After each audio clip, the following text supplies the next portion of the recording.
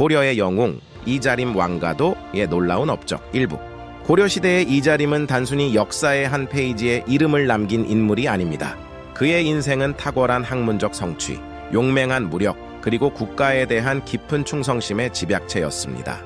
청주 출신으로 원래 이름은 이자림이며 고려 덕종의 비, 현비의 아버지였죠. 이자림의 삶은 성종 때 장원으로 급제하면서 본격적으로 시작됩니다. 그는 고위 관직을 거쳐 화주 방어사에 이르렀고 국가의 위기 때마다 중요한 역할을 수행했습니다. 특히 1014년 김훈과 최질 등의 무신난을 진압하는데 결정적인 역할을 했습니다. 이러한 공로로 그는 고위직에 올랐고 다양한 업적을 이뤘습니다. 1021년 이자림은 경주에서 고선사의 금나가사와 불정골, 창림사의 불화를 궁중에 가져와 보관함으로써 불교 유물의 중요성을 강조했습니다.